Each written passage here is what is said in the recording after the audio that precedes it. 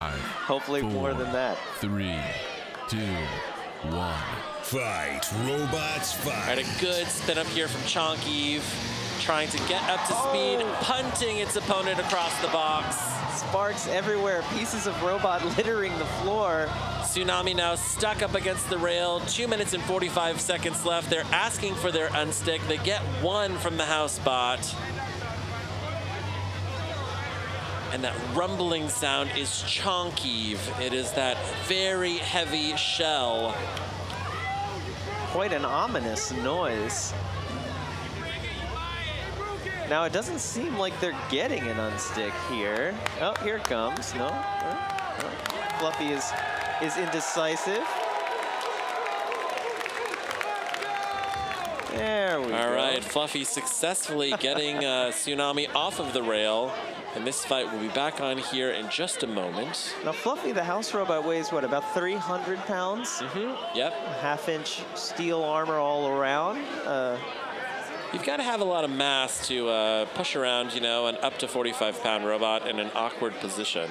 when you request an unstick here, you do, you know, it is a double-edged sword. Oh, right. there's a cage breach. Oh, look at you this. can Do see there. here on the left, the uh, the sacrificial layer of Lexan here. Now there's two layers of Lexan inside of these boxes. Every single one of our boxes here.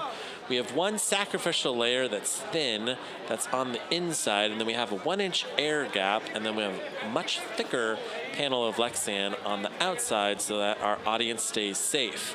Um, now over here, you know, we can see this this kind of curled up piece of Lexan.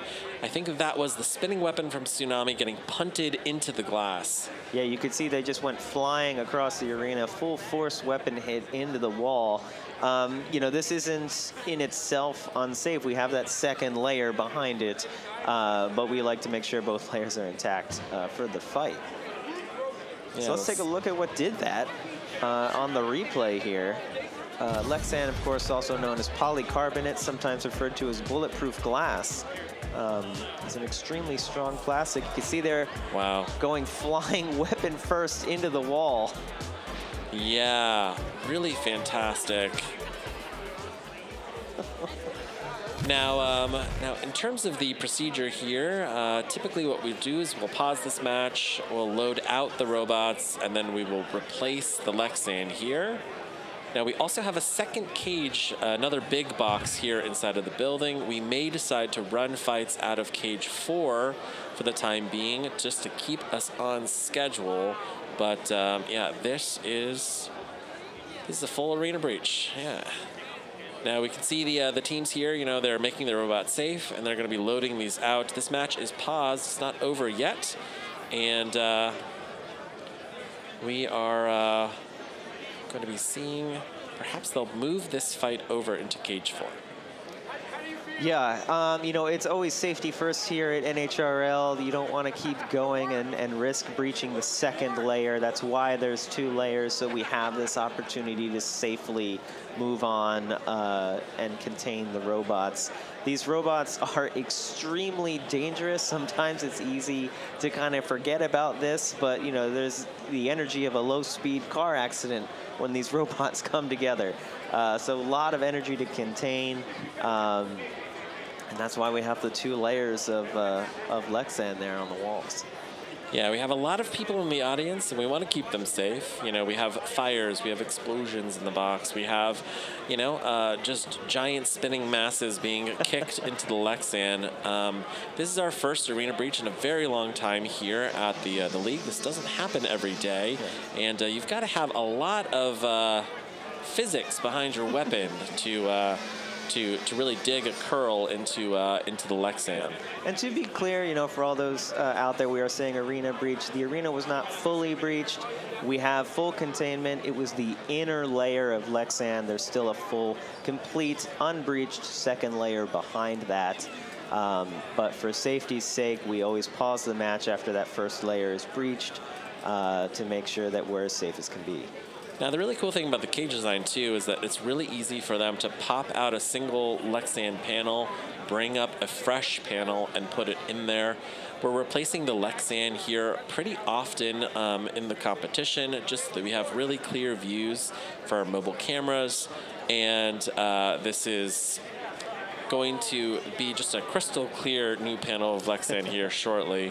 The last time that we had a partial uh, arena breach, um, you know, the the the replacement took about 30 minutes.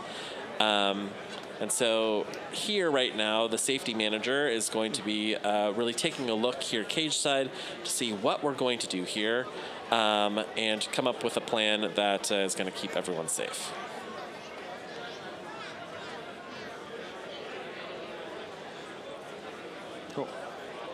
So the uh, safety inspector is saying that there is no crack.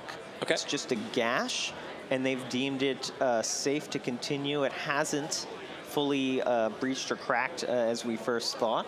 Yeah. Um, just a gash, just a little peel there.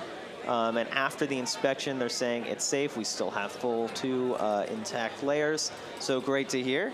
Um, but we're always extra safe here. We always double check these things um, and take a look. And after inspection, we're good to go. So we'll be back at it here um, in uh, in cage one. The question: uh, Did that count as an unstick, or was I the match so. paused before?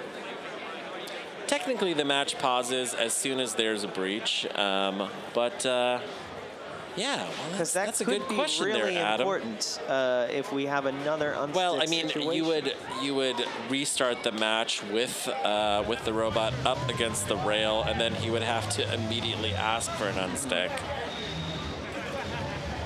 Got a great uh, shot here of our VIP area. It's full stands here in the VIP uh, section. They are sta- they're sitting cage side. They've got the best seat in the house, and full stands here.